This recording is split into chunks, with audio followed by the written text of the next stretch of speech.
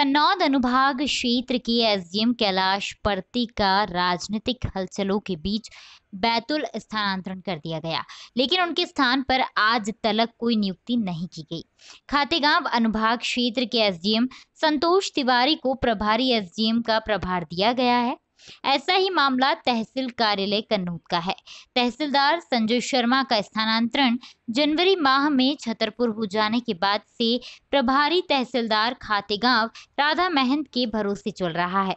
क्षेत्र की ग्रामीण जनता को कार्य कराने में अनेकों दिक्कतों का सामना करना पड़ रहा है। ग्राम कलवार के किसान राम अवतार वृद्ध होने के साथ साथ अस्वस्थ रहते हैं। ज़मीन बंटवारों को लेकर न्याय के लिए कन्नौद तहसील कार्यालय के चक्कर काट रहे हैं। वैश्विक आपदा कोरोना काल में अनुभाग क्षेत्र के जिम्मेदार अधिकारी नहीं होना यह कई मायनों में कई प्रश्न खड़े करता है जिसको लेकर कांग्रेसी पूर्व विधायक कैलाश कुंडल ने अधिकारियों के भरोसे चल रहे सरकारी महकमों को लेकर प्रेस वार्ता कर कई सवालिया निशान खड़े कर दिए हैं। जनता के प्रति जवाबदेही न होकर शासन प्रशासन को गैर जिम्मेदार ठहराया है। दादा आपका? हम कहाँ? के रहने वाले हैं? कहाँ पर आए आप? तहसील में। किस लिए आए? ये ज़मीन के विषय में आया था। कितने दिनों से आप आ रहे हैं यहाँ पर तहसील में? तीन चार महीने हो गए। तीन महीने हो गए। किस प्रकरण को लेके आ रहे हैं आप? ये एजम साहब का आदेश को लेके आ जाए आदेश।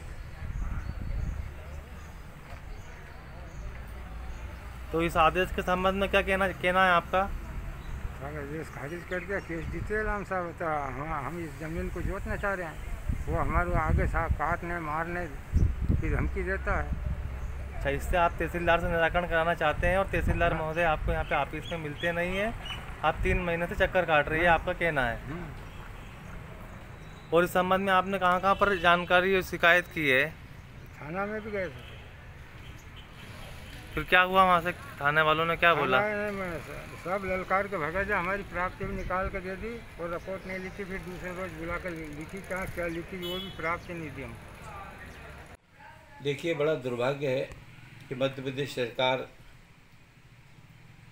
प्रदेश के अंदर जिस तरह के हालात हैं आज कन्नौज सब डिवीज़न जो है एक समय जिला मुख्यालय हुआ करता था।